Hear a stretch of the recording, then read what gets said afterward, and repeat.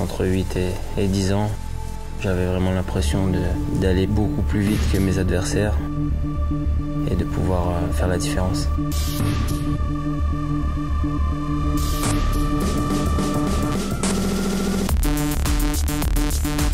C'est obligé d'aller plus vite. Pour moi, la rapidité n'est pas seulement une question de courir vite. Le joueur rapide, c'est celui qui a déjà vu avant. Mais avant d'avoir le ballon, il sait déjà ce qu'il va faire. Mais le charme du football fait que les matchs ne se ressemblent pas. Donc il faut toujours une part d'instinct et une part d'inconnu.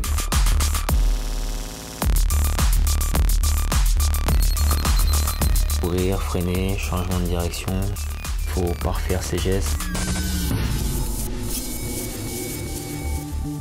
Sent vachement le ballon euh, avec ses chaussures. Et on a gagné au niveau de, la finesse. Aujourd'hui, on a l'impression d'être dans des chaussons. Je me souviens de ma première paire de chaussures. Il y a eu un moment où, elles étaient ouvertes devant, où mon père avait scotché euh, la paire de chaussures. Ça donne faim.